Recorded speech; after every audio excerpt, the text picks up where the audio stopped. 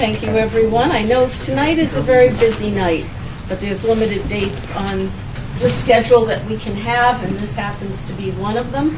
For anyone who has not gotten out to vote, Uh, polls close about 8 o'clock, and it's been a busy day, so you're going to want to get there. And for that very same reason, we have departments that were very busy today, unusually busy. So while you had one line up, it got changed a little bit. And basically, on your agenda, we will not be doing legal tonight. That has been moved to the 14th. Instead, we will be doing assessing, which was going to be at a, at a different date. And we are not going to do MIS because they have their hands full broadcasting us and getting things ready for broadcast later on this evening.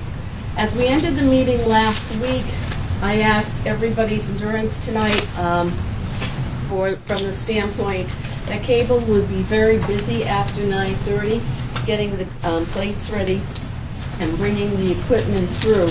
So if we could look at our time tonight, maybe perhaps forego the break and just keep at it so that we can be out of their way. If it's not possible, it's not possible.